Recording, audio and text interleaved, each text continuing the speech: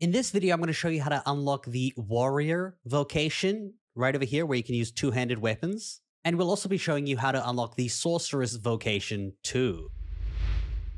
It's actually not too difficult to actually gain both of these two vocations. You will have to progress at least to Vernworth, and if we go ahead from Vernworth and you go out the northwest exit over here, you can follow the road and then take the left, and you're going to make your way across to this location over here, the Trevo Mine.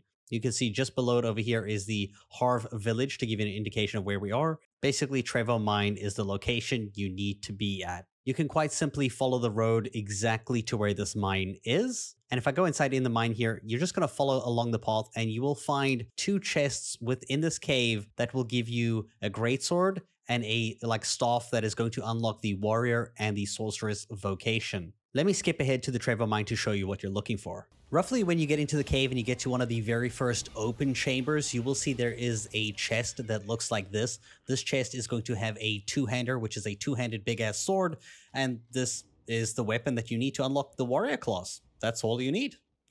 Further on in the cave, you'll come down a, a, big part where you have to like go down several levels. And at the bottom there, there is a little tunnel that goes and branches off, as you can see towards like the northeast. And you're going to go ahead and run up that pathway and you'll find a chest over here, which you're going to open to get the arch staff, the, you know, the thing that's going to unlock the sorcerer vocation. Once you get those two items, you're going to return to Vernworth and you're going to go to the vocation guild the Vernworth Vocation Guild, or any other one in the world, but this one's just the most convenient. Located right over here. When you see the inn at the top of there, you actually need to go underneath it for the uh, vocation guild area and you're going to speak to this guy over here who will unlock the vocations for you. All you got to do is go to change vocation and then you'll be able to purchase and unlock the warrior and the sorcerer vocations and that's how you can change them. And you can see the warrior class is a massive freaking weapon. Like you, you just like swing, it just feels violent. If you want to just smash things, this is the way to go. The sorceress is much like a mage, but it has a lot of incantations and a different way to actually do things, but mostly like the same kind of spells. I hope you guys enjoyed the video and thank you so much for watching.